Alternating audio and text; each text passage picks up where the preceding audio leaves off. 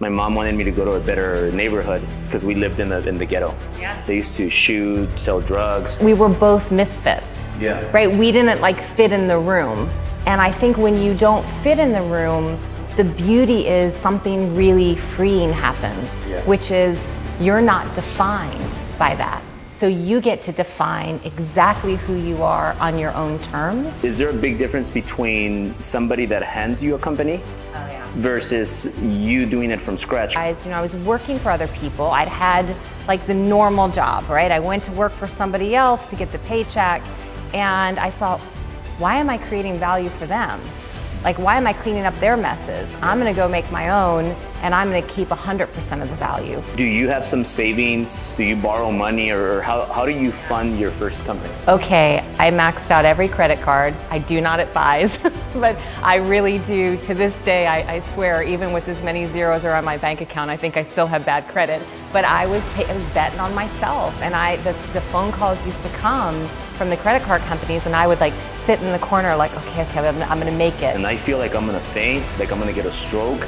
Like I don't know what's going on, but in a way I do know what's going on because I'm having dinner with my parents and I'm turning purple. I can't swallow my food.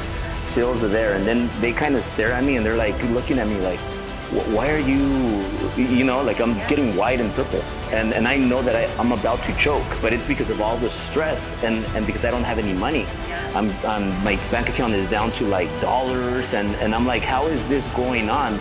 What am I gonna do? How am I gonna pay my people? Like, I don't know how I'm gonna cut payroll Friday. tell you, you are describing like the absolute panic of entrepreneurship. I think so perfectly. It is not for the faint of heart. And every successful, really successful entrepreneur, they, I feel like their ideas are just better than the normal people. Like actually hang on to your own thing as long as you can.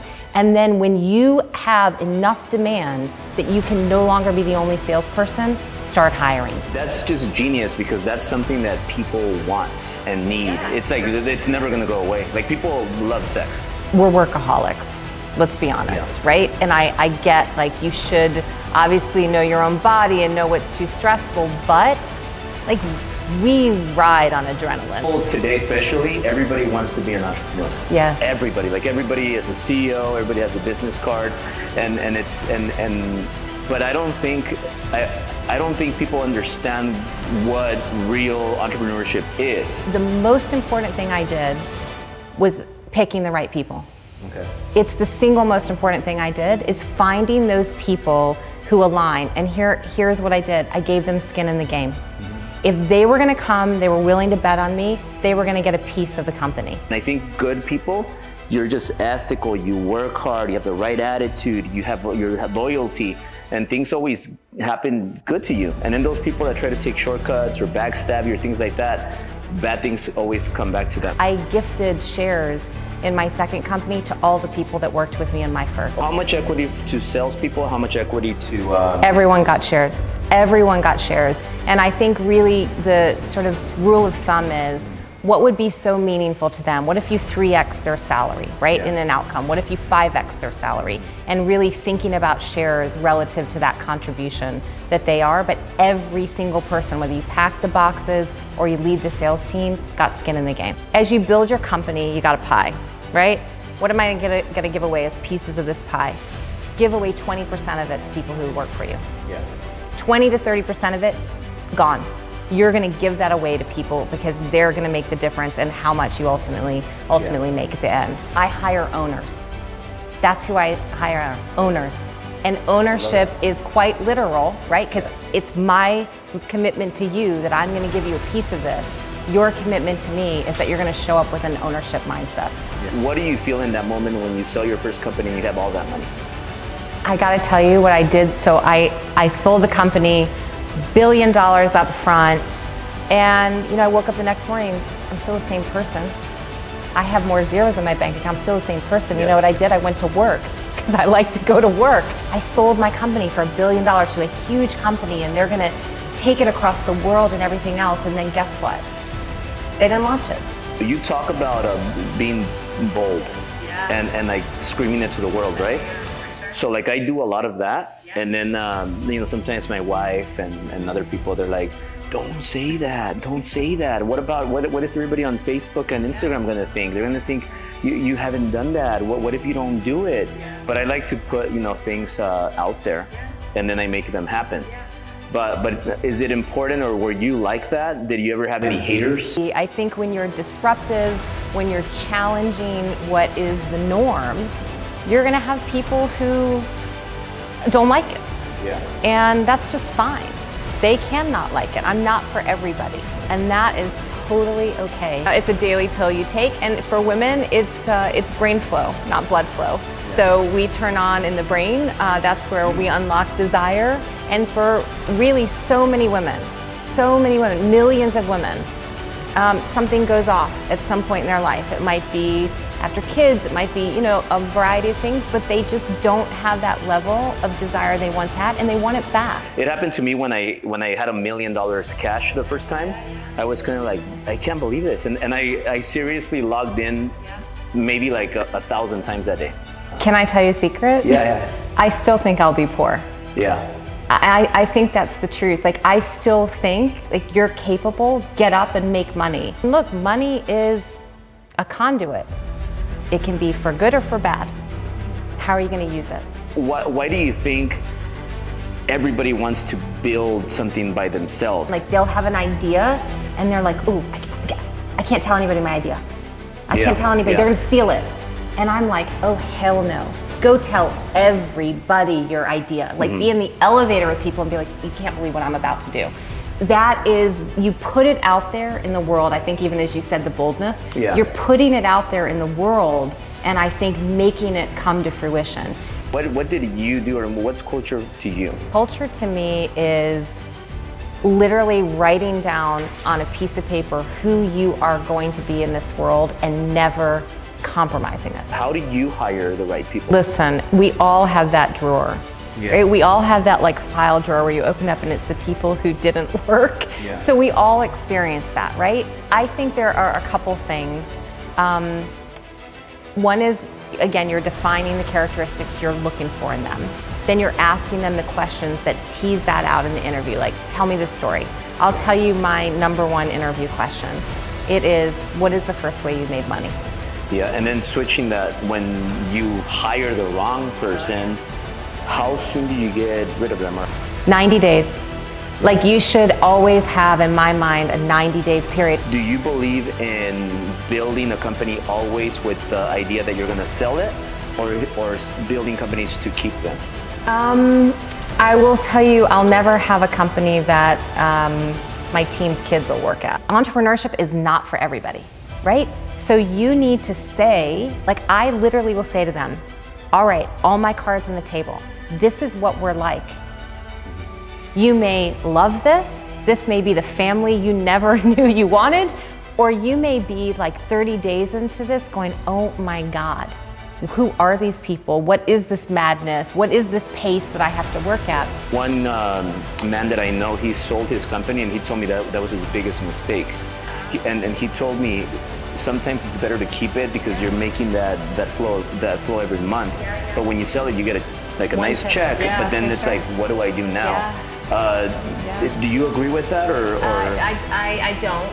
Um, but it's just it's just a different probably philosophy in that like I'll go build it to a place and then take the big check and say you go- you go and take it to the next place. I'm starting over. No matter how big you get, always meet every single person you're going to put on your team. How do you build a culture? Order pizza. Get everybody around the table. Whatever you want. Pick the food. But sit together every day. Not only bonds us together as a family, but we do actually know everyone in the company is on the same page. Yeah. We know everything that people are working on, what they're struggling with. It is the absolute opportunity I I heard you say also about being curious.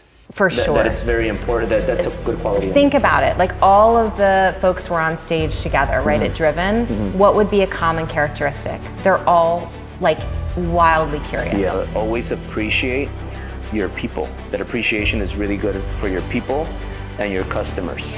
Um, how, how important was that in every venture that you've done? Huge. So, look, I, I think that's a bit of a life philosophy. Like, do you show up with an attitude of gratitude? I mean, honestly, on my darkest days, the, and there are dark days when you build these things, I still was able to kind of pick myself up and marvel at like, how cool is it that I'm that I'm getting to do this? How cool is it that these people have bet on me? How cool is it that people gave me money to be able to realize this dream? Like I need to show up for them. And I think that appreciation, that appreciation for every single person who bet on me made me committed every day to pay them back and then some.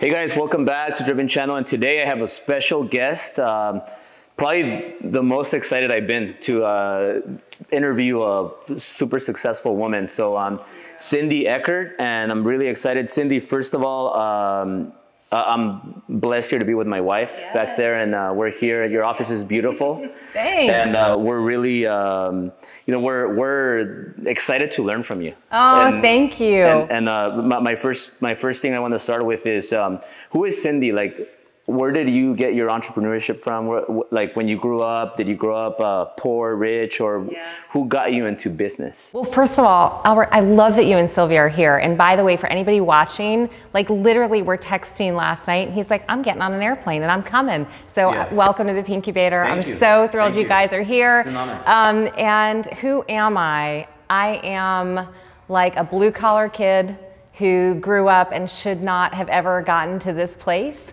um, if you will. But I, I was always driven with like a love of kind of business and making connections. And i have two big brothers. Yeah. and they'll tell you that like when i was little there was no game i would play in which i wasn't the ceo so i started young. Um, i used to my very first hustle is my two big brothers. You know they just wanted to like sit on the couch and watch tv so I would make them pay me to go get them things from the refrigerator and bring it to them. So that's my first hustle. I, I had a weird childhood. Um, my dad came home, I was in the fourth grade, I was nine years old, and I lived in like very blue collar town upstate New York. Um, and he said, Do you want to go to Fiji? Mm. I didn't know what Fiji was. Yeah. I said, "What's Fiji?" And he said, "Well, go go find out." There was no Fiji water then, so it really was like nobody, right? The other side of the world. He said, "Figure it out." So I went in and I like looked at the globe we had. I spun it is the other side of the world, and I came back in and I looked at my dad. I was like, "Yeah." I want to go to Fiji. Like we never done a trip like that. And he goes, good, because we're moving there in a couple weeks. And so I was immediately transplanted outside of my comfort zone into this very unusual childhood. From that year on, I moved every single year to a new school. I think looking back, that was my training for what I was going to do in the rest of my life, which was I was going to run toward these kind of challenging, uncomfortable situations and take them on. Yeah. Uh, see, I had a similar experience when I went to elementary school. Yeah. I took the bus. My mom wanted me to go to a better neighborhood because we lived in the in the ghetto. Yeah. They used to shoot, sell drugs. So I took the school bus to. Granada Hills. I don't know if you're familiar with it. Yeah. But it's it's a different area than w- what I was used to. Everybody spoke English. My first language was Spanish. Yeah. So I didn't know any English. So I get there and, and it kind of makes me like fight. And yes. it gives me that fighter, um, yeah. you know, and, and I, I, think that when you went to Fiji, yeah. what, where, did you have to figure a lot of things out when you were there? I think it's your experience, right? We were both misfits. Yeah. Right? We didn't like fit in the room. And I think when you don't fit in the room, the beauty is something really freeing happens, yeah. which is you're not defined by that. So you get to define exactly who you are on your own terms. Mm-hmm. And I think it does create, you know, that fighter in you, I think, is like independent thought. Yeah. Right? Like you're going to get to do it on your own terms. And that's a real gift. Because I think for many people who have a conventional, like I stayed in my comfort zone, I went to the same school, um, you are boxed in mm-hmm. because you're like, you're the geek or you're the jock or you're the something. And we got to, we didn't fit any one of those things, yeah. so we defined who we were. When, when you start, before we get into Slate, your first company, right? When when you thought about opening the company, Yeah. Did an, did anybody give you the blueprint? And and before that, le- what what's different? Is is there a big difference between somebody that hands you a company, Oh yeah. which uh, eh, versus you doing it from scratch? Because Slate, how did Slate become Slate? Like truly slate. I named it that because it was clean slate. I'm doing it on my own terms. I don't know what I'm doing, but I'm going to figure it out. And every mess I make is my mess. So I'm going to mm. clean it up because I realized, you know, I was working for other people. I'd had like the normal job, right? I went to work for somebody else to get the paycheck. And I thought, why am I creating value for them?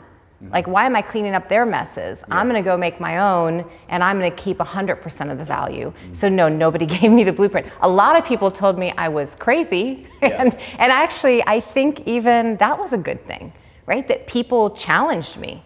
They were like, you're you're never going to make it. You don't have the pedigree. You don't have the background. You don't have the context. You don't have the money Yeah. to do this. And all of that was a bit challenge accepted.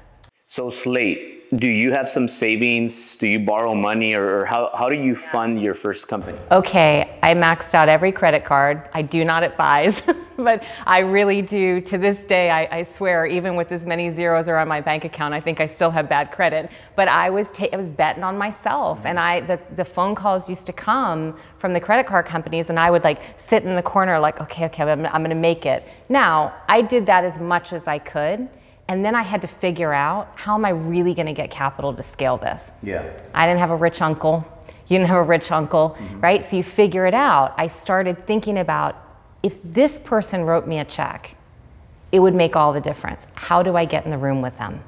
And I had like my list. Yeah. Um, I won't call it stalking, but maybe it's some version of that, yeah. right? I was figuring it out, and I got into the room with a guy that I had identified. He was the one, and uh, and I was just relentless in making him listen to what I was trying to build. And when he finally um, said, "All right, I'll write you a check. I'm going to bet on you," I said, "Great. Now I need to meet four of your friends." So Cindy, I have this moment when you know my my first company Yeah. is, is is just getting really stressful, and I'm in, at the gym, and I see all these uh, all these trainers that are walking around, and I see them floating like in circles, and I feel like I'm gonna faint, like I'm gonna get a stroke, Yeah. like I don't know what's going on, but in a way I do know what's going on because I'm having dinner with my parents. And I'm turning purple. I can't swallow my food.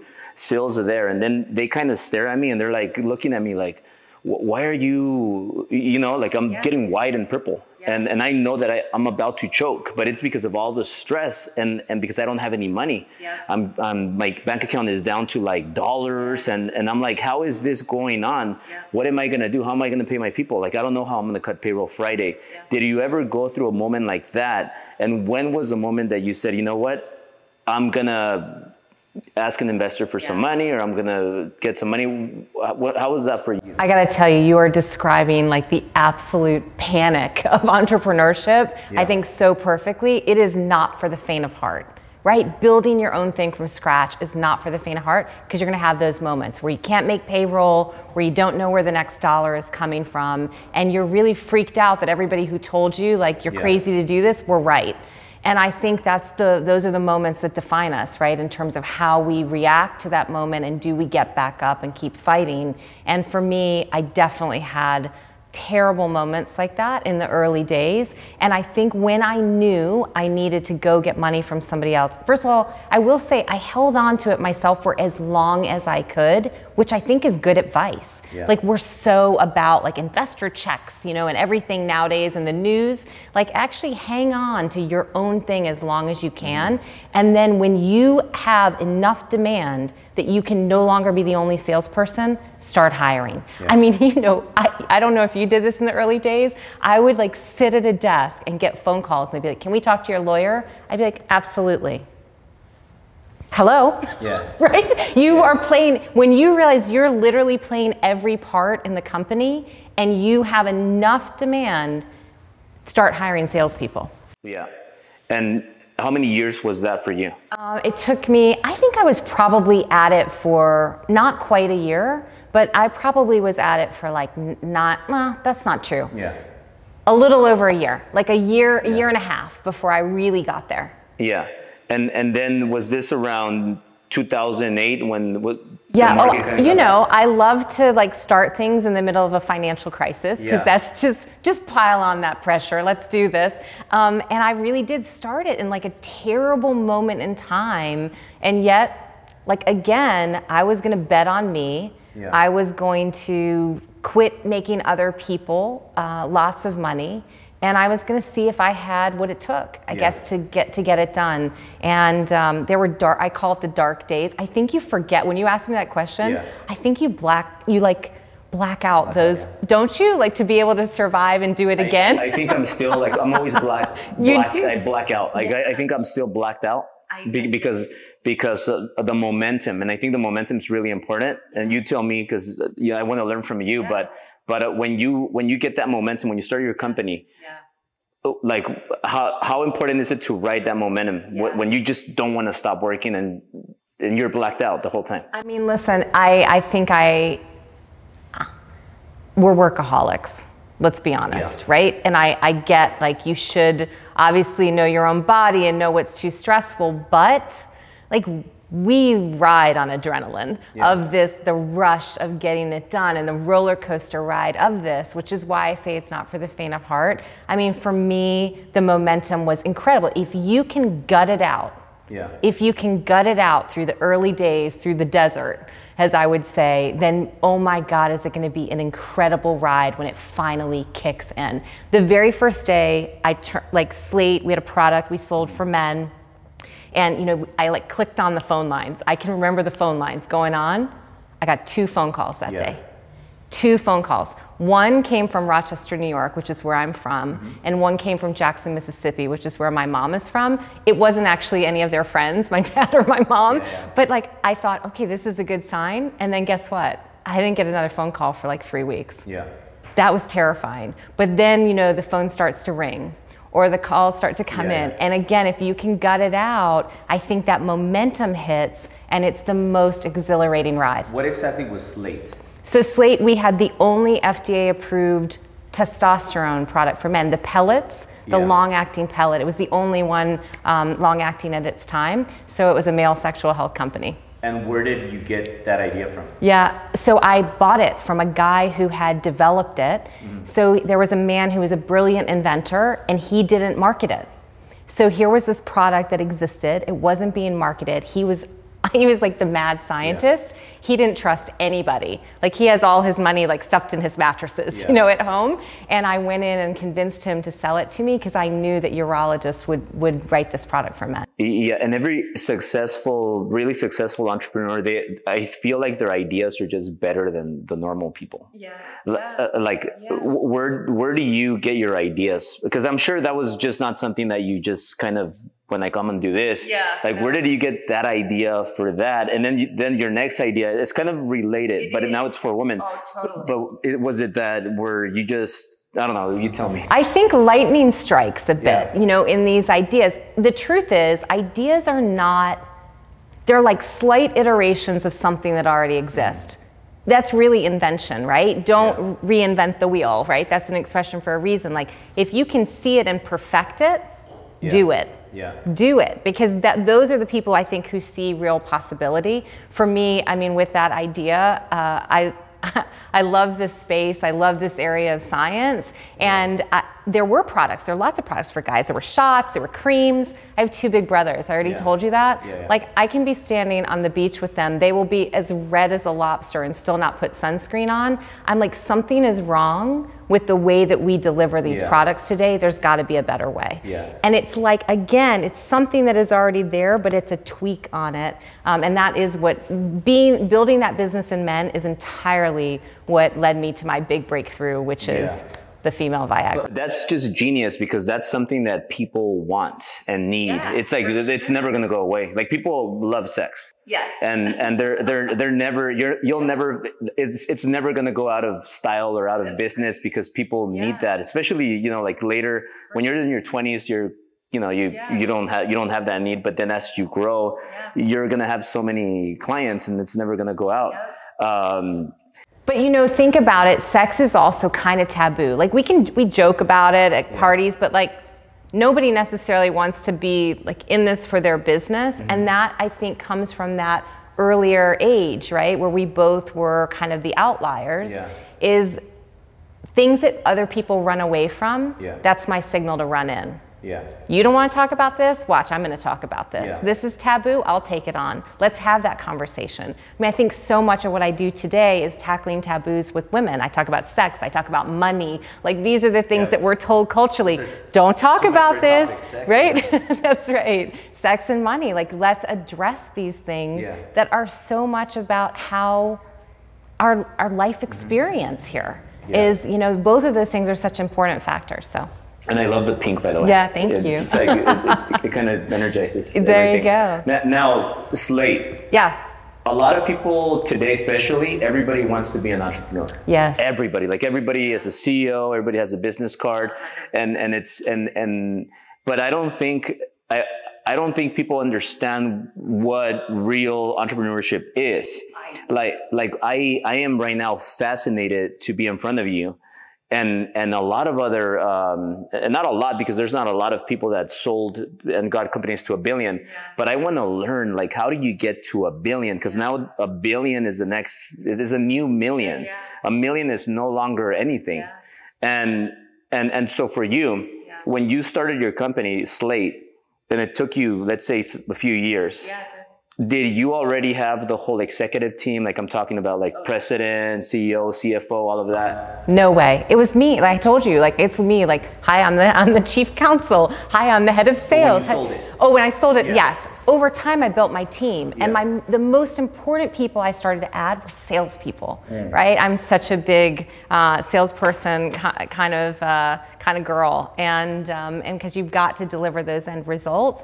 But yeah, I slowly built out the team, and it, the most important thing I did was picking the right people Okay. It's the single most important thing I did is finding those people who align. And here, here's what I did. I gave them skin in the game. Mm-hmm. If they were going to come, they were willing to bet on me, they were going to get a piece of the company. Not everybody does that, but you know what? It is my secret to success. Because if you give people skin in the game, they make decisions totally differently.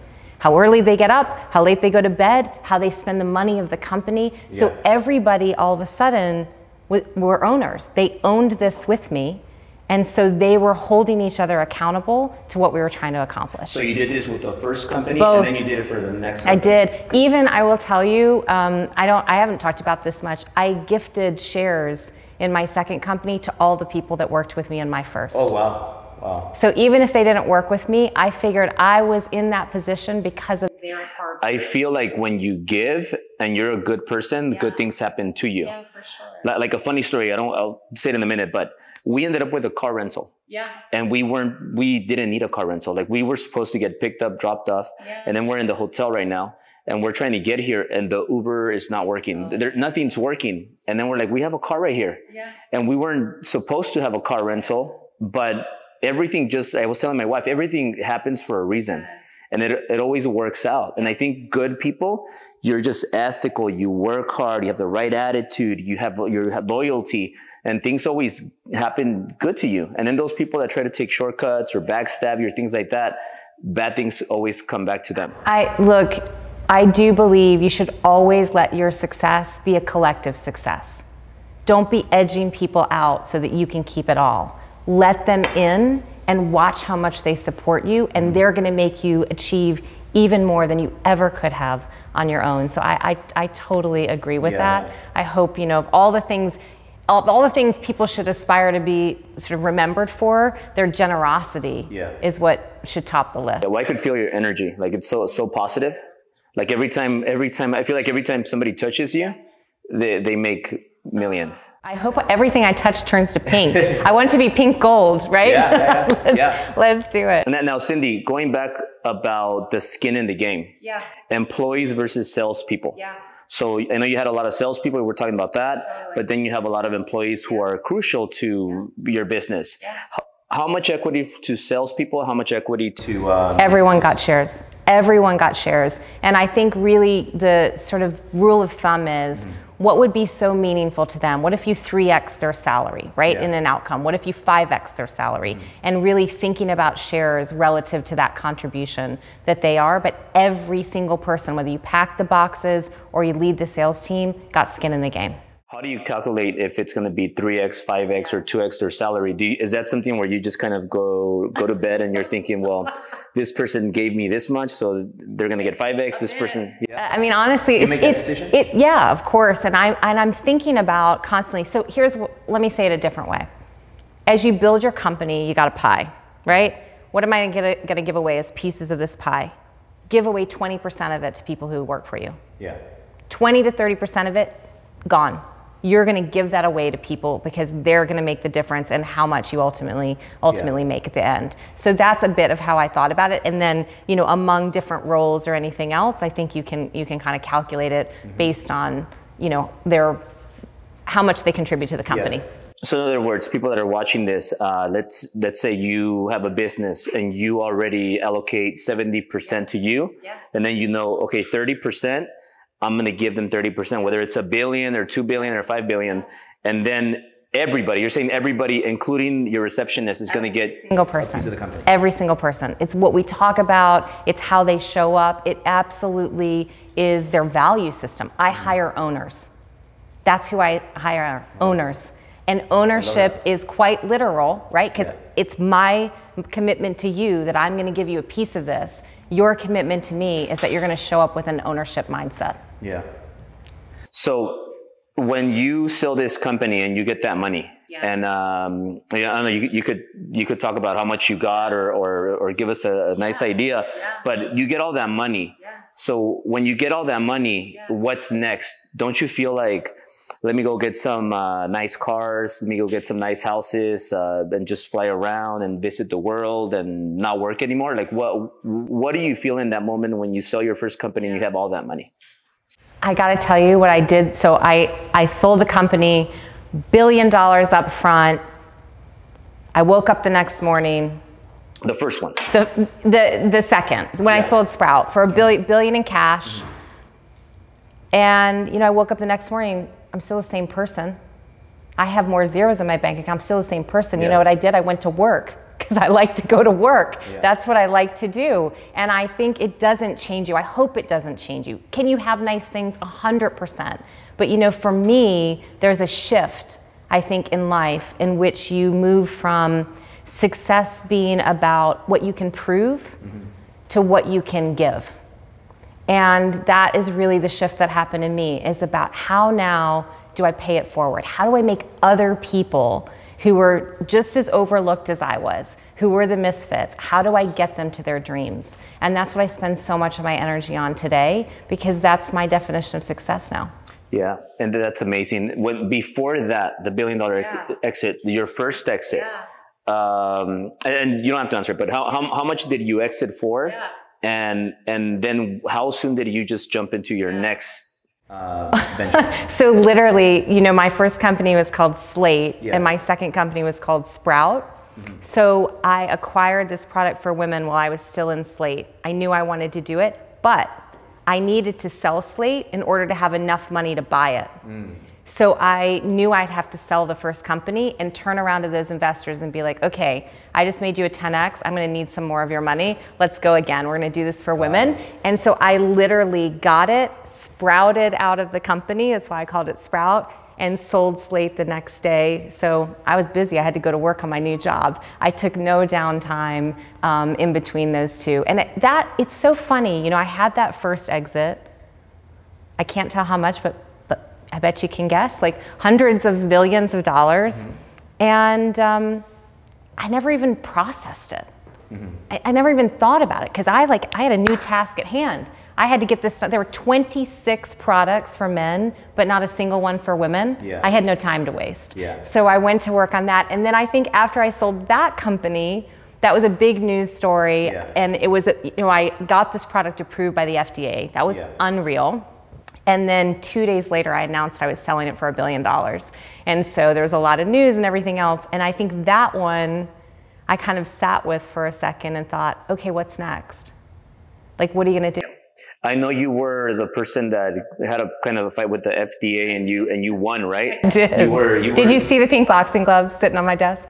I did not, but I heard about them. I yeah, I, will I'll see them after. Yeah. But but I, I know that you were gonna have your biggest day or your biggest moment, and something happens, yeah. and then and then it, do, it doesn't go quite well. Oh no, that's right. Can you talk about that? So I sold the business, right? It's the it was the entrepreneur's dream come true. Mm-hmm. I sold my company for a billion dollars to a huge company, and they're gonna take it across the world and everything else. And then guess what?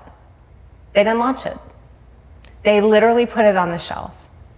And here I am sitting on the sidelines. I've worked so damn hard. My team has worked so hard. And like I was feeling sorry for myself. And then I thought, who is this? Right? What are you doing? Like I'm sitting in the corner crying? Yeah. And I thought, not on my watch.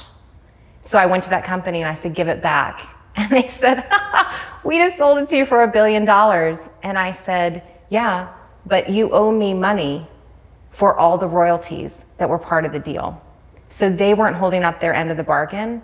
And so ultimately, I made them pay attention. And in exchange for me quieting down, um, they gave me the company back for free, and the shareholders kept the billion dollars. Crazy story. But proof that, you know, I'm going to use some sexual innuendo here. Yeah. The, ha- the happy ending is up to you. Yeah. The happy ending is up to you in life. Yeah. In life. So you can see this. I really had this unreal moment and then right it goes back down to, to you know disappointment mm-hmm. so what are you going to do it's about how many times you'll get back up yeah you you talk about uh, being bold yeah. and and like screaming it to the world right yeah, for sure. so like i do a lot of that yeah. and then um, you know sometimes my wife and and other people they're like don't say that. Don't say that. What about what? What is everybody on Facebook and Instagram yeah. going to think? They're going to think you, you haven't done that. What What if you don't do it? Yeah. But I like to put you know things uh, out there, yeah. and then I make them happen. But but is it important, or were you like that? Did you ever have any haters? Or, oh, are you kidding? Okay, for sure. I mean, have I ever had? I still have. I mean, there's always going to be. I think when you're disruptive when you're challenging what is the norm, mm-hmm. you're going to have people who don't like it. Yeah. And that's just fine. They cannot like it. I'm not for everybody. Mm-hmm. And that is totally okay. And you've got to be comfortable in that, I think, to really um, disrupt. Yeah. So when your company, you get it back, yeah. what exactly happens when you get it back? Yeah. Do, do you kind of have different ideas or do you actually make, make it work? Yeah, yes, it's available today. Women go on the product, um, you know, every single day. How does and this we product get, work? it I want to get some, if you have some, do you have some here. I know you're going to want me to bring samples I, to I the Driven free, event. I, I, want to get yeah, yeah, for free samples to all the yeah. ladies, and and then um, I think that'll actually make it a bigger hit. It's amazing. Be happy, but so maybe some for sale here for our last night. Um, That's great. I love it. I'm looking at her face t- right now. Test the pills out. You know, or, it, are they pills? They are. Okay. Mm-hmm. Yeah, it's a daily pill you take, and for women, it's uh, it's brain flow, not blood flow. Yeah. So we turn on in the brain. Uh, that's where mm. we unlock desire, and for really so many women, so many women, millions of women, um, something goes off at some point in their life. It might be after kids, it might be, you know, a variety of things, but they just don't have that level of desire they once had and they want it back. Like it bothers them. So it's really such an important it's such an important issue for so many women and yeah. for me it was so obvious and disappointing that we didn't talk about it and we weren't addressing it. Yeah. But I got to tell you, when you get your company back, it's not like, oh, great, I got it back. Now let's do this. Like you get it back and it's, they've done nothing. Yeah. So now you're picking up the pieces.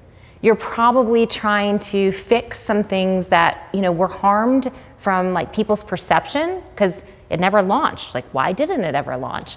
And, um, and then you're building a new team. And I think you're challenging yourself to say, okay, Smarty, like how would you do it differently this time? Yeah. What would you do different? And so that's been kind of the fun of this is yet again like a new challenge. Yeah. how am i going to do it this time? And uh, and so far so good with an incredible team. So before we go a little bit more with the with the sexual stuff yeah. um, just backtracking a little bit yeah. uh, let's just say and i'm making numbers up. Let's, let's just say you sell for a billion and 30% you gave it away in equity, and then there's like 70% left.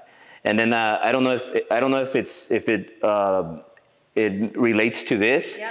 but I, I think I saw somewhere where you uh, got a hundred million or something like that, or, or you f- from investors or something. I Like did. I, I raised $100 million. that? So, so was that for the for part of the exit for a Billion? Um, it, so to build that company, it, it required. to build it, yeah. Mhm, it So- required. So I, I, I used 50 million of it, Mm-hmm. and 50 million of it I got as a um, I'm gonna call it a bluff. Mm-hmm. So in the when I thought I'm at the precipice of being able to sell this, I went and raised 50 million more dollars so that people would know I'll do it myself. You want it? Mm. Yeah. You want to pay me for it, or should I just go because I'll do it myself? And I ended up giving that 50 million dollars back. Got it. so when you sell the company, obviously there's people that have to get paid and all of that. I don't think anybody has heard this, but but uh, like like how, how much money goes to uh, Cindy? Oh, I can't tell, but but I'll just say I'm the biggest shareholder. We'll say it that way. But Yeah. I don't. I didn't own 100% of the company. Yeah. No, I think really so few founders are ever able to hold on to 100% of it because of the capital that we need to scale. Yeah. But I will tell you from. Uh, like a kid who grew up in like the factory town in upstate New York, more zeros in my bank account than I ever imagined. Did, did you ever kind of play play games in the mornings where you um, log into your online banking and then you kind of see it and then you're like, man, and then you kind of like go go to the restroom, come back, and then you log back in and you kind of can't believe it because it happened to me when I when I had a million dollars cash the first time.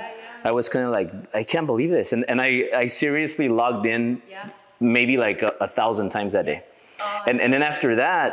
li- Like it just, it, it was just like okay, but but uh, did you have that moment where you were kind of like, wait, is this is this real or not? Can I tell you a secret? Yeah, yeah. I still think I'll be poor. Yeah, I, I think that's the truth. Like I still think like you're capable, get up and make money. I don't really. It's a very interesting. I have a very interesting relationship with money. Actually, um, I work with a guy who's wonderful in terms of managing money, and he came literally he was sitting in my office, Yeah. and he said, "Okay, um, you drive the same car, you live in the same house. And he looked at me for a second and he goes, and I'm pretty sure you were wearing that outfit the last time I Yeah, yeah, saw you. He's like, we need to get have a real relationship. I say that sort of jokingly.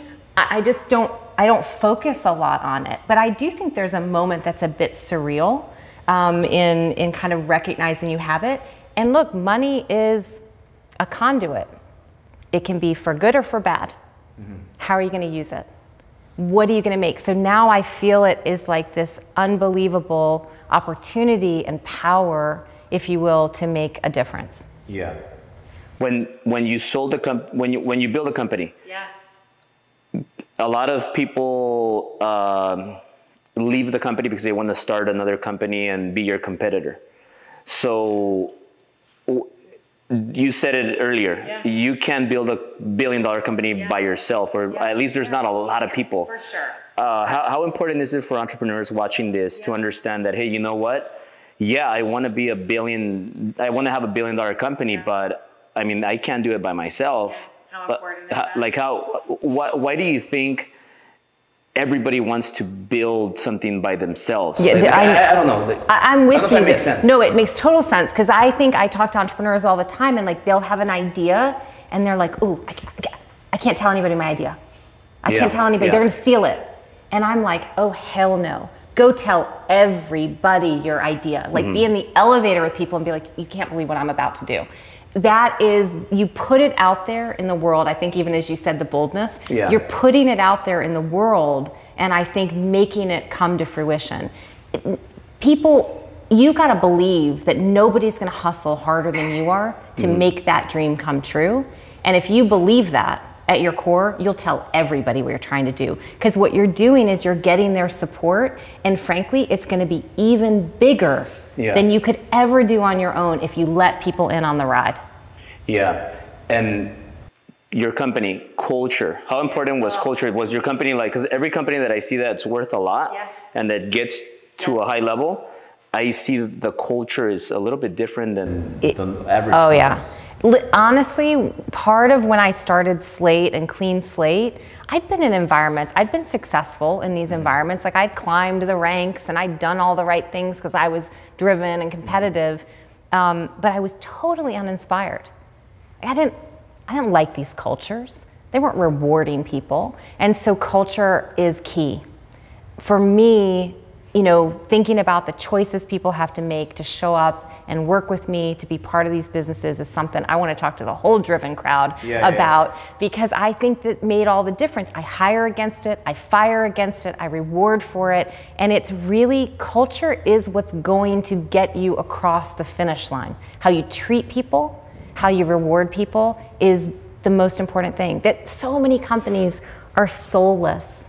Like if you go in they're so process oriented. They try to make everybody fit into a mold. And what they're doing is they're killing all of the creativity and really the superpower and strength, I think, of their individuals. Yeah. What what is culture to you? Like I know you talked a little bit about it right now, but is there like maybe two things or three that that that stick out from what you use from what you do with yeah. all the people in, in, in your company? Because for example, for us, yeah. like we have crazy parties. Uh, we have like award ceremonies, uh, competition, but but like what what um what what did you do or what's culture to you? Okay, well first I'm so sad you just missed like all my salespeople because we were doing all of those things, yeah, having big parties and and um, and and doing an awards ceremony. Culture to me is literally writing down on a piece of paper who you are going to be in this world and never compromising it. Mm-hmm. And for me, I really wrote down six things. Six things that were going to define us, who we were.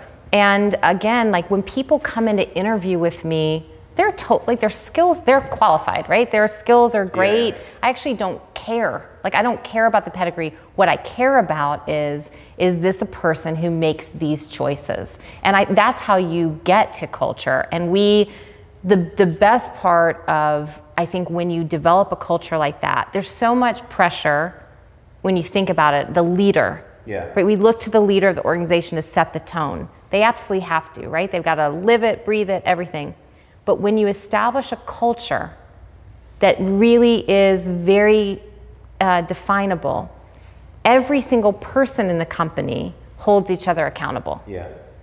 Because you know what? Like, we're going to cross the finish line. We're going to sell a billion dollar company. Mm-hmm. If you're not pulling your weight, you don't get to stay. And yeah. that's not me saying it, that's their coworker saying it. Yeah, yeah.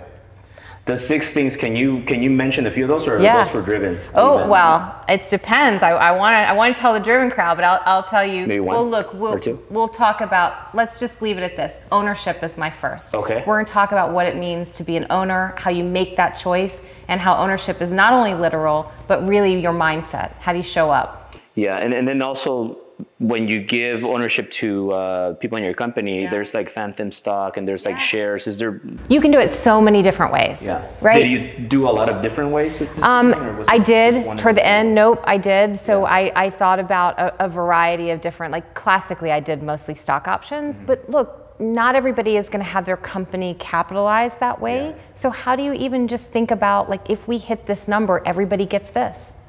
Like just naming it. it. It's really about like the goal on the wall. Everyone's very clear about what we're chasing, and everybody gets a reward if we get there. When you say uh, the number to hit is this, yeah. let's just say the number to hit is 80, yeah.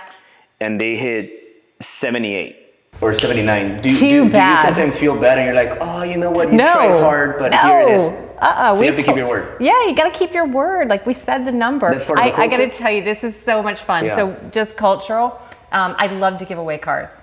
Mm-hmm. It's one of my favorite things. And um, and so we are going to give away a car again next year. And and the fun for me is we do it at a big meeting. I call it Hollapalooza. Yeah. So it's a it's a company tradition.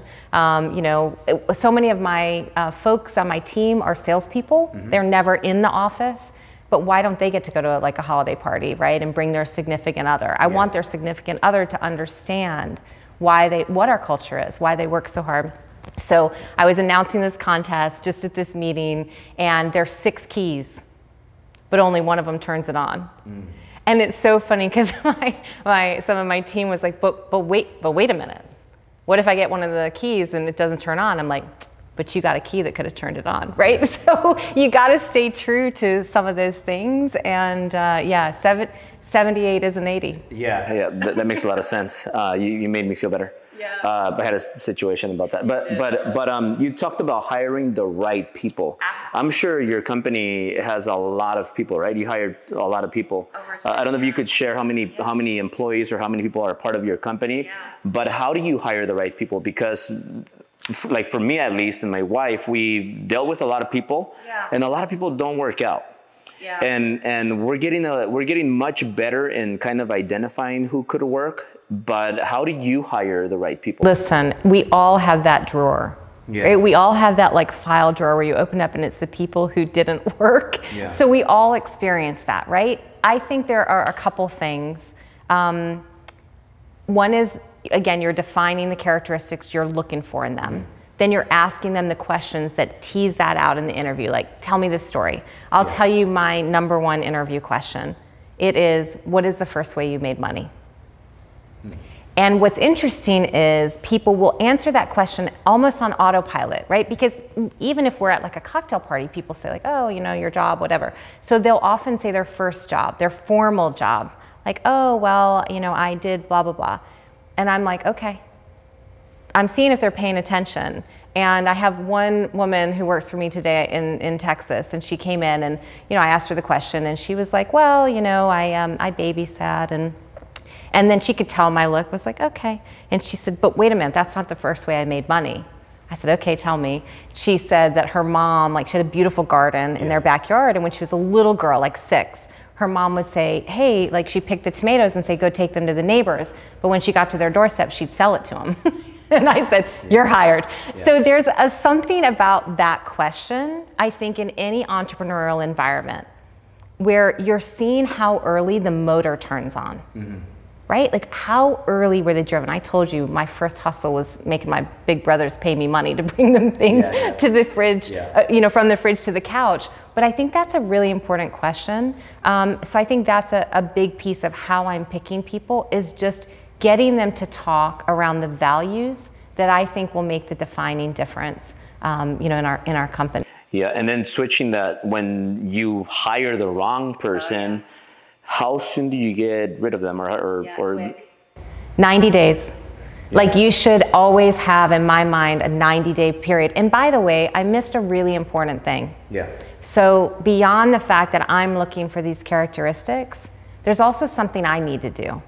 I need to put all my cards on the table. This, this environment, this culture is not for everybody no it, it's not entrepreneurship is not for everybody, right? So you need to say, like, I literally will say to them, all right, all my cards on the table. This is what we're like. Mm-hmm. You may love this. This may be the family you never knew you wanted. Or you may be like 30 days into this going, oh my God, who are these people? What is this madness? What is this pace that I have to work at? So I think many times over the years, I can't tell you I did that at the beginning, but over the years, I got much better at understanding that I also needed to set an expectation to see if they flinched. Because I don't want them to be unhappy. Yeah. And I don't want to be unhappy because I wasted time. Yeah. So, you know, we always, with everybody we hire, we do a 90 day, like a 90 day. In 90 days, we're going to sit down and we're going to talk. do you have a Not reviews just a fit. like 30 days 60 days No, 90 days. 90 days. Yeah, I like you got to give them a little bit of time to get Yeah. get up and going. But I think that 90 day mark, within three months, you you both know if it's a good fit. Yeah. Is it is it still hard sometimes when it's nine days it doesn't work out? Do you kind of feel bad, or do they sometimes go uh, crying to you? Oh no, Cindy, please, I like you, you like me, or do, or are you not involved uh, with the hiring and firing process? I that's one other thing. No matter how big you get, always meet every single person you're going to put on your team. That is a priority. Yeah. That is such an important piece, right, of your Yeah. your ultimate destination, your ultimate success. Um, so yeah, of course. Here's my rule of thumb on that. I will go to the ends of the earth for somebody who is making an effort, who is Okay. genuinely trying so hard. They're learning, they care, they're showing up, they're putting it all in. It might be that, they, that we haven't helped them enough with training, or we haven't done that, then that's on us. Yeah. Right? But if they're phoning it in and they're not making an effort, bye. Yeah, yeah, yeah, for sure. So is Cindy in the office? Yeah. Are, are you the Cindy that kind of talks to everybody? You're in the mud, or are you Cindy that's in your office? Oh my God, no. Are you kidding? I can't stay. I can't stay in my office. Yeah. I have like too much. Even sitting here in the chair, Yeah, I'm like wanting to get get up and move.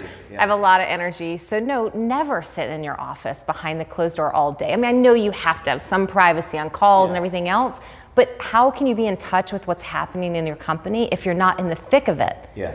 Like I love to sit down and answer like our customer service calls. I mean, the woman, she's been with me now for 15 years, uh, who runs that. Three companies later, she's still Yeah. with me, and um, you know, she always laughs because she's like, "You're not really that good at this," but, yeah, yeah. but I still want to hear Yeah. what the customers are saying. And here's um, one of the things that we do. So culture. I can't believe I didn't tell you this. We eat lunch together every day. And that has been so important over the years. Like I always think, you know, how do you how do you build a culture? Order pizza. Get everybody around the table. Whatever you want, pick the food, but sit together every day. And I did that early because I thought, oh, I came out of these environments where it's like death by meeting. Mm-hmm. So many meetings, right? We meet just to have a meeting, just to feel like we're all productive. So, how do you kill that? okay, every day we're going to sit together for lunch and we're going to talk about everything that's going on. Now, here's what's really happened it not only bonds us together as a family, but we do actually know everyone in the company is on the same page. Yeah. We know everything that people are working on, what they're struggling with. It is the absolute opportunity, right? You, you can never say, I didn't know that was going on. Yeah. It's been my, it's, that's another secret weapon. Yeah. Order pizza. You you give a lot of value right now so far already. I, I know a lot of people are gonna use all these things that they that they heard, but a couple more things uh, before we end. Uh, so just to, to end this this part, are you a workaholic? Which I, I know I, I know you are, but uh, well, how does Cindy's day look? Or do you work like 16 hour work days, 14 hour work, work days? Eight hour work days and uh, Saturdays and Sundays. Do you have time for that you spend for you, your family, or, or how does your week look? I'm looking at my fiance right now. so I'll, I'll, I think I can answer 'Cause this he- he- question. I was talking. I was talking to him, and, and he said she said she's such a workaholic. But but at dinner because I asked him, do you do you drink? Because I'm I'm like trying to like get in like shred a little bit, Yeah. and and I asked him, do you drink? And he's like. Alcohol or, or, or other things, and they're like, yeah, alcohol. And so he says, oh yeah, and and, and, and he said that you really didn't drink. No, that's true. And and, and now I, I I bet it. I bet now you maybe you do a little bit, but bit.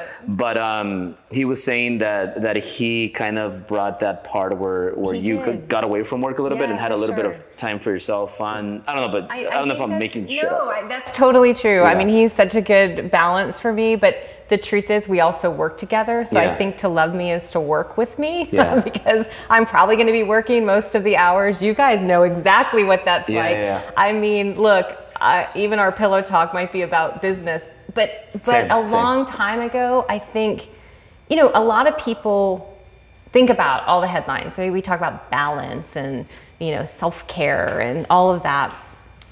I don't know. I decided a long time ago. My work is my hobby. My hobby is my work. I love Yeah. what I do. Yeah. Like it energizes me. Yeah. So I never feel cheated if I'm working. Like, do I have downtime where we have to watch like stupid reality shows? Of course. Yeah. Of course. Like all of us have a day where you got to end um, that way on the couch and watch that. But uh, but I really do love what I do. Yeah, and weekends too. Weekends you like to work? Or? Uh, yeah, I'm pretty much. I'm always. Let's just say it this way. I'm always on call. yeah. And I think if you've built something from scratch, you realize like, hey, you know, if somebody else doesn't show up, I gotta. Yeah. I'm showing up. So, so Cindy, now that you have a lot of money, I'm just gonna say that, and and I'm sure you have other uh, other companies, or maybe you, you're investing in other other businesses. Um, so talk about that, and and also, do you believe in building a company always with the idea that you're gonna sell it, or or building companies to keep them? Um, I will tell you, I'll never have a company that um, my team's kids will work at. I think I, I think I, I like the, so I think there are CEOs that are builders and there are CEOs that are the longer term. I'm a builder. I love the build. Yeah. That's what I like. So at some point, I'm going to want to build the next thing. Um, but I don't think that I obsess over. I've got to sell it. Yeah. You you will have um, made a huge mistake. I think if you're all you're thinking about is build a sell, build a sell. You're building to create unbelievable value, and I promise you, when you create that value, they're going to be knocking because they're going to want it from you. So you just got to keep your eye on the ball um, for that. But um, today we we do have through the Pinkubator. So you know I invest the proceeds uh, just of selling these businesses and other disruptors. Mm. And people taking big swings at crazy firsts. Yeah. Um, those are my kind of people, the underdogs. And so we have 13 different companies now wow. um, under the Pinkubator that we're a part of. Well, one um, man that I know, he sold his company and he told me that that was his biggest mistake. Uh-huh. He, and, and he told me sometimes it's better to keep it because yeah. you're making that, that flow that flow every month. But when you sell it, you get a like a One nice check, yeah, but then it's sure. like, what do I do now? Yeah. Uh, yeah. Do you agree with that, or? or? Uh, I, I, I don't. Um, but it's just it's just a different probably philosophy yeah, in that like I'll go build it to a place and then take the big check and say you you go and take it to the next place. I'm starting over. I'm going to build this one. I think your personality is just like you, you, you don't stop and you just keep moving. Yeah. I heard you say also about being curious. For sure. That it's very important. That that's a good quality. Think about it. Like all of the folks were on stage together, right? Mm-hmm. At Driven. Mm-hmm. What would be a common characteristic? They're all like wildly curious. Yeah. Like these are people who never stop learning, yeah. and that's why I love being around them. Yeah. Uh, that's awesome. And then also one la- one last thing, um, Cindy, that you said, uh, always appreciate yeah. your people. That appreciation is really good for your people and your customers. Yeah. Um, how, how important was that in every venture that you've done? Huge. So, look, I, I think that's a bit of a life philosophy. Like, mm-hmm. do you show up with an attitude of gratitude? I mean, honestly, on my darkest days, the, and there are dark days mm-hmm. when you build these things, I still was able to kind of pick myself up and marvel at, like, how cool is it that I'm that I'm getting to do this? How cool yeah. is it that these people have bet on me? How cool is it that people gave me money to be able to realize this dream? Like, I need to show up for them. And I think that appreciation, that appreciation for every single person who bet on me, made me committed every day to pay them back and then some. Appreciation, even for your customers, is imperative, right? That's who you are at the service of. And it's so fun. What I would say to everybody is don't do it unless you're gonna love the ride. And it's gonna be up and it's gonna be down. But when you love the ride and you let other people in on it with you, watch out. Yeah. Awesome. Well, Cindy, I'm, I'm really uh, happy that we did this. I yes, think a lot of people got a, a, lot of value. I have like a ton of more things that I wanted to go over, but I want to save them for Driven. Perfect. Um, and uh, Cindy, where can people follow you and what's your favorite um, platform? I love it if you follow me at Cindy Pink CEO, of course. Um, Instagram, but DM me. I'm happy to write you back there. But all the all the platforms, I'm at Cindy Pink CEO. And you do write back. I do. Yeah. I do. I'm not always as quick as I'd like to be, but I do write back. Awesome. Well, Cindy, thank you so much, and um, really thank thankful. You. Thank you. Thank so you. much. Thank you.